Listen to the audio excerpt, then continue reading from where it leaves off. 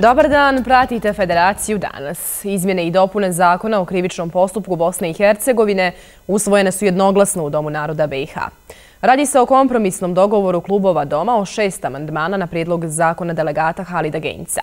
Konačna odluka o ovoj izmjeni je na predstavničkom domu Bosne i Hercegovine, čime bi bila ispunjena odluka Ustavnog suda BiH koji je stavio van snage neke odredbe tog zakona. Delegati Doma naroda Bosne i Hercegovine jednoglasno su prihvatili šest identičnih amandmana iz klubova Hrvata te Srba na prijedlog zakona o krivičnom postupku BiH delegata Halida Genca. Klubovi naroda su ih dogovorili kompromisno i nakon više mjesečnog insistiranja međunarodne zajednice da načine izmjene u skladu sa evropskim standardima. Prijedlog izmjena kluba Hrvata povučen je prošle sedmice, a prijedlog usvojen u zastupničkom domu BiH odbijen u prvom čitanju u skraćenoj proceduri. Cilj dogovorenih izmjena, kako je rečeno, je sačuvati integritet pravosuđa u borbi protiv organizovanog kriminala i korupcije. Tvrde i da su usvojene rješenja kvalitetnije, a neke norme precizirane i sa utvrđenim rokovima. Precizirano je da ni istraga ni postupak ne mogu trajati do beskonačnosti. Određene su rokovi u kojima i, glav, i, i tužitelj i glavni tužitelj trebaju poduzeti određene radnje, sasvim dovoljni rokovi i ukoliko se u tim rokovima ne podigne optužnica, a ne postoje druge procesni razlozi ili prepreke, istraga se može obustaviti. Ne može se više desiti, kao što je to bilo u sadašnjem zakonu, da praktično pripadnik neke terorističke organizacije, skupine ili grupe može dobiti imunitet ako svjedoči primjerice u kaznenom dijelu krivotvorenja službene isprave. Mislim da je ovim pokazano da e, smo zajednički djelovali na unapređenju zakona o krivičnom postupku i da predloženi zakon o krivičnom postupku u prvobitnoj verziji nije mogao da bude zadovoljen od strane što se tiče bar kluba srpskog naroda. Jednoglasno je usvojeni zaključak doma da je jednoglasno prihvaćen prijedlog upute u hitnoj proceduri zastupničkom domu Bosne i Hercegovine. Tek tada će procedura izmjena naloženih od Ustavnog suda Bosne i Hercegovine prije više od godinu dana biti izvršena. Nikola Špirić, podpredsjednik SNSD-a i poslanik ove stranke u predstavničkom domu parlamenta Bosne i Hercegovine, stavljen je na crnu američku listu prema odluci State Departmenta.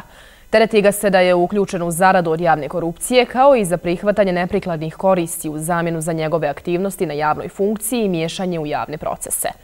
Odluka se odnosi i na članove njegove porodice, kojima je također zabranjen ulazak u Sjedinjene države. Stavljanje na američku crnu listu komentarisali su ministar spoljnih poslova Bosne i Hercegovine i predsjednik entiteta Republika Srpska. Ono što sam uspio da vidim iz medija da se radi o jednoj aktivnosti e, koja je provedena po posebnom američkom zakonu e, koji oni koriste kada se radi o osobama e, upletenim u ekstremne slučajeve korupcije i da je tu odluku potpisao državni sekretar Pompeo. To je sve što sam uspio da dobijem do sada, ali zvanično još nismo dobili, nismo još ništa obavešteni. O jedinstvenoj političkoj istoriji i političkom sistemu u svijetu da opozicijni poslanik na ovaj način se tretira. Obično to budu ljudi iz vlasti. E, njegova krivica je zato što nije prihvatio da, da podrži rad, e, sumorni rad i antisrpski rad e, obaveštajne službe. Počelo je suđenje suspendovanom tužiocu Boži Mihajloviću. Njega državno tužilaštvo tereti za nesavjestan rad u službi, dok njegova odbrana odbacuje navode iz optužnice, ističući da je pravno neutemeljena. Također, odbrana Mihajlovića podnijela je krivične prijave protiv tužilaca tužilaštva Bosne i Hercegovine, koji su potpisivali dokumente u ime Mihajlovića, a među njima su Dijana Kajmaković i Oleg Čavka. Državno tužilaštvo svog zaposlenika Božu Mihajlovića tereti da je propustio nadzirati rad Sadine Beridan Zuhrić, daktilografkinje tužilaštva BiH, jer je bio njen nadređeni. U jednoj od tački optužnice navedeno je da je Zuhrić preuzimala dokaze i usmenom molbom, a među kojima je bio privremeno oduzeti novac koji je, navodi se u optužnici, nezakonito prisvojila. Bez znanja i naloga tužioca Božije Mihajlovića od referenta KDP-a tužilaštva BiH Bogdana Bogdanovića usmeno zatražila i uz uslov da naknadno dostavi pismenu naredbu tužioca uspjela da izuzme privremeno oduzeti predmete u tužilačkom spisu. One naredbe koje su imale pisani trag potpisivali su i drugi tužioci i to u ime Mihajlovića. Među njima su bili i tužioci Oleg Čavka i Dijana Kajmaković. Protiv svih njih odbrana Mihajlovića podnijela je krivične prijave. Čavka će biti i prvi svjedok državnog tužilaštva na narednom ročištu 2. oktobra. Ja sam tvrdio da se ovdje radi o zloupotrebi poverenja bliskih suradnika, jer ako je tačno da je daklograf koji je radio 15 godina s Božom Mihajlovićem uzeo novac, onda je maksimum koji se može zaključiti da je to e, uh, pronimjena u službi ili nekakva utaja, zloupotrebom povjerenja Bože Mihajlovića i ništa više. Sadina Beridan Zuhrić nije optužena, niti se protiv nje vodi sudski postupak za otuđenje privremeno oduzetog novca iz sefa državnog tužilaštva. Zato odbrana Mihajlovića postavlja pitanje kako je moguće utvrditi odgovornost Mihajlovića kada prethodno nije utvrđena odgovornost Zuhrić. Također, istraga protiv Mihajlovića još traje, pa je tužilac kazao da će u narednih desetak dana biti donesena odluka hoće li optužnica biti proširena. Kada je u pitanju utvrđivanje poteškoća u implementaciji revizorskih preporuka, postoji mali pomak, međutim i dalje nedostaje kapaciteta, revizora i novca, te mnoge institucije ostaju daleko od revizije utroška javnog novca. Poručeno je na konferenciji organizacije Centri civilnih inicijativa. Konferencija revizije javnih institucija u BiH, neiskorišteni potencijali, održana je i 2016. godine i nakon dvije godine konstantovano je da skoro ništa nije urađeno prema zaključcima tadašnje analize CCI-a. Iako je Ured za reviziju institucija BiH tokom posljednje tri godine obavio manje revizija javnih preduzeća koja su u većinskom vlasništvu vlade Federacije BiH, povećao se broj onih koja su dobila negativno mišljenje, njih 12. To dovoljno govori da su analize poražavajuće te da se nadzor nad radom javnih preduzeća mora ojačati i promijeniti. To je opet u sferi rada tužilaštava. Tužilaštvo bi trebalo u skladu, u, u okviru svog izveštaja o radu da apostrofira e, naše preporuke, odnosno da e, obrazloži šta su uradili po našim izveštajima, tako da e, to pitanje treba biti upućeno tužilaštvu. Nemate povratne informacije? Nemamo povratne informacije, ni mi, ni vi. Jasno je da još nedostaje kapaciteta revizora i novca, te da mnoge institucije ostaju daleko od revizije utroška javnog novca. U protekle tri godine tužilaštva su pokrenula tek 11 predmeta u vezi sa negativnim revizorskim izvještajima. Za sedam predmeta postupak je u toku, a za četiri je donesena naredba o neprovođenju istrake zbog nedostatka dokaza o počinjenom krivičnom dijelu. Lošije se možemo osjećati ako znamo dakle, da od tih e, 11 predmeta niti jedan nije procesuiran, da je neko krivično ili, ili, ili bar prekršajno kažnjen za, za, a sigurno smo, dakle, i to potvrđuje reviziju da su u većini slučajeva kršeni zakoni o, o javnim nabavkama i mnogi drugi zakoni. U zemlji u kojoj se ne poštuju presude Ustavnog suda, teško je očekiva da se poštuju preporuke revizije, dok god tužilaštvo ne počne po službenoj dužnosti štiti institucije ove zemlje, ne treba štiti mene, ne treba štiti revizore, treba štiti institucije i njihov rad. Kako bi se zaštitile institucije u BiH, informacije iz revizorskih izvještaja trebalo bi da budu dovoljne za pokretanje krivičnih prijava, da bi bili procesuirani svi javni službenici koji krše zakon BiH.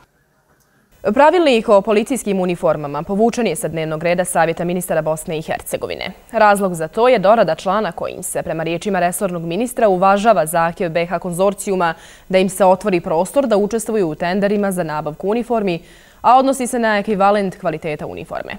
Prema proceduri za usvajanje pravilnika potrebna su nova mišljenja Ministarstva financija i Kancelarija za zakonodavstvo, što bi trebalo biti gotovo tokom naredne sedmice, nakon čega će se Savjet ministara očitovati o pravilniku. Posljednji preduslov za finansijsko odvajanje uprave policije od Ministarstva unutrašnjih poslova Tuzlanskog kantona ispunjen je danas. Više informacija ima koleginica Mirela Čanović. Skupština Tuzlanskog kantona usvojila je danas zakone o izmjenama i dopunama zakona o unutrašnjim poslovima i zakona o policijskim službenicima Tuzlanskog kantona, koji su bili neophodni za finansijsku samostalnost uprave policije i efikasniju borbu protiv korupcije u MUP-u Tuzlanskog kantona. Usvajanjem izmjena i dopuna zakona o unutrašnjim poslovima Tuzlanskog kantona, kojim se između ostalog formira sektor za materijalno-finansijske poslove upravi policije, ispunjen je i posljednji preduslov za finansijsko odvajanje uprave policije od Ministarstva unutrašnjih poslova, koje će biti realizirano tek naredne godine. Najbitnije je da se realizuje u ovom periodu kako bi stigao za novu budžetsku godinu da se uvrste sredstva i za jednu i drugu budžetsku poziciju. To je još jedan od koraka koji će omogućiti da od početka naredne godine imamo razdvojenu ovaj, e, upravu policije od dakle, malo manje politizacije, hajmo da tako kažemo. I u tom kontekstu smatramo da je to i trebalo donijeti što prije. Izmjene zakona o policijskim službenicima morale su biti izvršene što prije. Duplo su pooštrene disciplinske kazne korumpiranim policajcima. Apsolutna zastara za procesuiranje koruptivnih krivičnih dijela je četiri godine. Više neće biti moguće da policijski službenik bude disciplinski oslobođen za krivična dijela, zloupotrebu položaja i korupciju, zbog kojih je pravosnažno osuđen. To nam je u prošlom periodu stvaralo dosta ovaj problema, tako da je nije mali broj disciplinskih postupaka koji su upravo zbog ti stvari ušli u zastaru. Gdje smo imali ljude koji su u praktičnom smislu odgovarali krivično, a disciplinski su bili pošteđeni zbog opet nemara, nerada unutar onih organa, odnosno struktura unutar Ministarstva unutrašnjih poslova koji su odlučivali o tome. Ponovo su usvojene izmjene zakona o policijskim službenicima prema kojima radni odnos policajcu koji osuđen na tri mjeseca zatvora ili strožija kazna prestaje pravosnažnošću presude, a ne danom stupanja na izdržavanje zatvorske kazne. Tako osuđeni policajci koji su novčano platili zatvorsku kaznu više neće moći raditi u MUP-u. Imamo nekoliko policijskih službenika e, koji su pravomoćno osuđeni, pa čak i za koruptivna krivična djela, kaznama zatvora od e, 8 mjeseci do godine dana, koji su iskoristili tu mogućnost i nisu stupili na izdržavanje kazne zatvora, već su otplatili.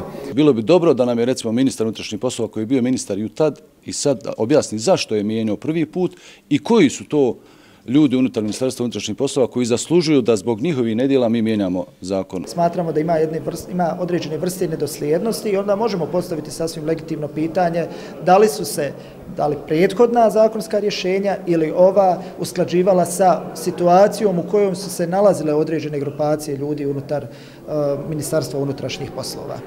Inače, oko 20 policajaca MUPA Tuzlanskog kantona je trenutno na suspenziji jer se protiv njih vode krivični postupci. A na trgu žrtava genocida u Srebrenici u Tuzli i ovog 11. u mjesecu okupili su se preživjele žrtve genocida i ukazale na sporost pronalaska nestalih osoba u posljednjem ratu, te kroz mirnu protestnu šetnju ponovili zahtjeve da se oni koji su učinili zločine izvedu pred lice pravde i adekvatno kazne. I nakon 23 godine traže se posmrtni ostaci više od hiljadu srebreničkih žrtava. Iz Udruženja žene Srebrenice napominju da su i dalje nezadovoljne radom tožilaštva Bosne i Hercegovine, ali i Instituta za traženje nestalih, budući da se svakim danom na nivou države susreću sa različitim obstrukcijama. Na stotine osumnjičenih za ratne zločine i dalje je na slobodi. Nismo zadovoljni. Mnogi nisu pohapšeni, mnogi su jedan dio kazne odslužili, pušteni su onaj Ja i stalno srećem u Srebrenici, tamo u Podrinju, zaista, zaista slobodno se kreću, ni protiv njih imamo onaj spisak od 810 koji su učestvovali u genocidu u Srebrenici. Ja, ja ne znam da je ko od njih procesuiran. Kako navode u udruženju žene Srebrenice, pored bola za najmilijim, najteže im pada negiranje genocida počinjenog na ovim prostorima. O Srebrenici se govori u čitavom svijetu, pogotovo kad dođe godišnica i to nema sve, sve i rezolucija i parlament i sve negira i na jednom se nađe nekakav, nekakav idiot koji to negira, koji neke izmišlja komisije. Zajednička komisija Vijeća naroda i Narodne skupštine Republike Srpske danas nije podržala veto kluba Bošnjaka na zaključke kojima je odbačen izvještaj komisije o događajima u i oko Srebrenice u julu 1995. godine. Tamara, bilo je to sve što smo vam pripremili za danas iz Tuzle. Ponovno smo sa vama u četvrtak. Doviđenja. Mirela, hvala i doviđenja. Kroz projekat hitnog oporavka od poplava finansiranu kreditnim sredstvima Svjetske banke od oko 7 miliona maraka namijenjenih Brčku distriktu, do sada je izgrađeno pet mostova, dva putna pravca te započeta sanacija Savskog nasipa kod Vučilovca. Rok za završetak je 31. decembar 2018. godine, ali postoje određeni problemi. Mještanima Vučilovca koji je u poplavama 2014. godine bio potpuno potopljen, najveći problem predstavlja izuzeta zemlja za proširenje nasipa. Kažu da zato nisu dobili nikakvu financijsku naknadu, pa ako se to ne desi, pravdu će potražiti na sudu. Ja sam jedan od oštećenih. E, obraćao sam se vladi, u stvari inspektoratu, ministarstvu za poljoprivredu. Izlazili su Ništa mi detaljno nisu nisu mi rekli, potvrdili. Problem predstavlja i oštećenje jedinog puta koji prolazi kroz ovu mjesnu zajednicu zbog teške mehanizacije koja vrši sanaciju Savskog nasipa. Mi smo tražili da neko dođe ovdje i da garanciju da po izvođenju radova Savskog nasipa se sanira put od Vučilovca do Krepšića. Ništa više Vučilovlja nisu tražili. Za sanaciju Savskog nasipa površine oko 10.000 hektara iz kredita Svjetske banke izdvojeno je 1,8 miliona maraka, sve s ciljem zaštite stanovništva i materijalnih dobara. Problemi oko realizacije uzrokovali su reakciju delegacije Evropske unije. U pogledu pritužbi da mi ne poštujemo i ne omogućavamo izvođaču radova da on obavlja poslove, obzirom da je postavljen znak i da je potrebno znači da on prevoz vrši sa osovinskim opterećenjem e, 7 tona ili manje, tako da su nas iskritikovali u tom pogledu i e, dali do znanja da se stavlja u pitanje sad ovaj dalje projekat.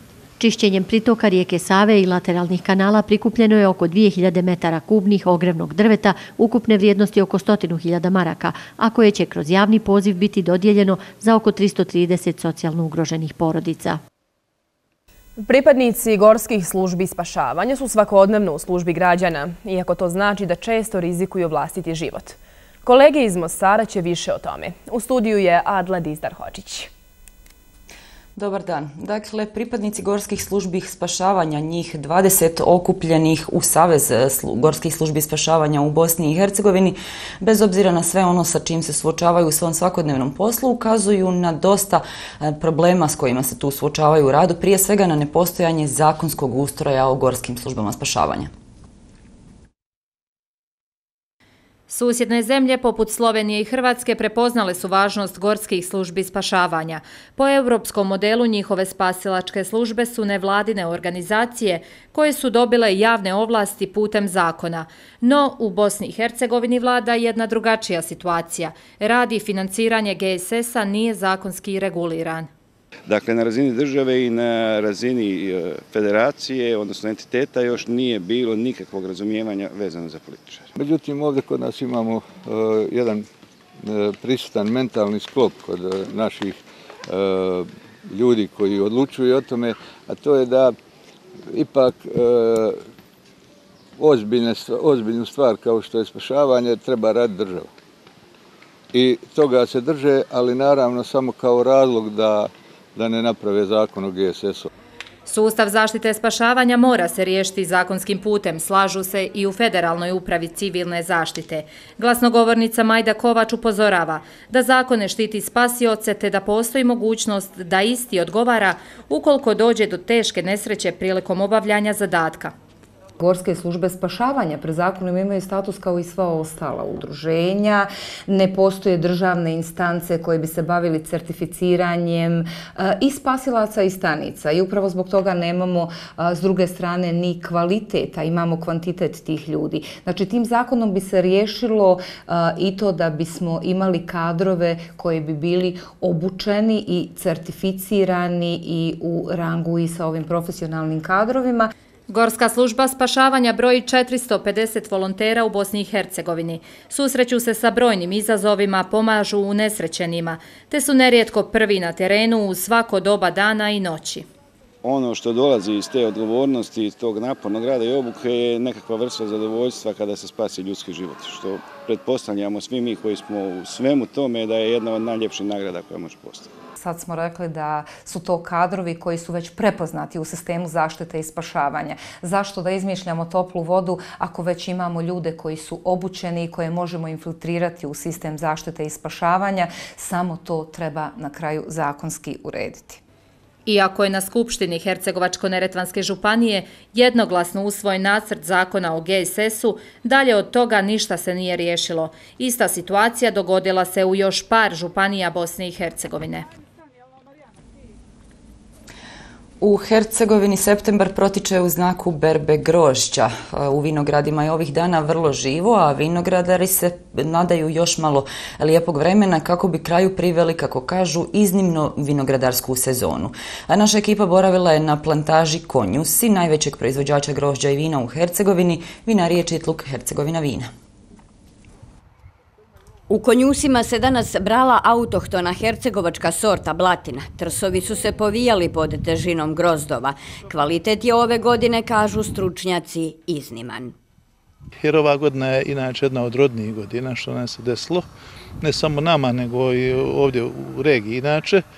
Naravno, koje je uspio sad da sačuva, pošto je godina bila iznimno teška, proizvođački. Bilo je dosta kiše u petom, šestom mjesecu. Malo je poznato da je temelje uspješnog i organiziranog vinogradarstva i vinarstva u Hercegovini postavila Austro-Ugarska 1912. godine, kada je bilo 6400 hektara pod nasadima vinove loze. Prije rata je bilo 5789, a sada mnogo manje, 3580 hektara. Nove investicije su neophodne, jer se posljednjih godina, nažalost, ne podižu novi nasadi.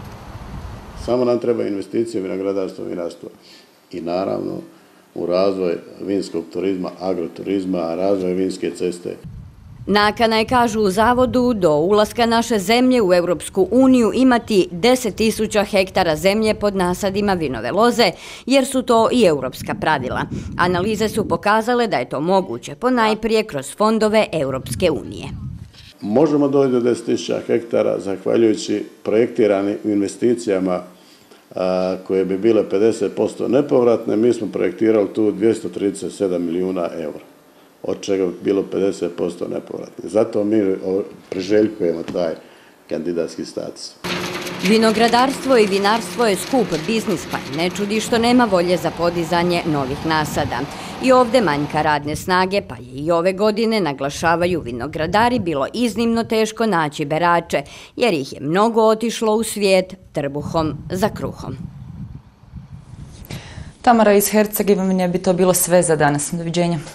Adla, hvala i doviđenja.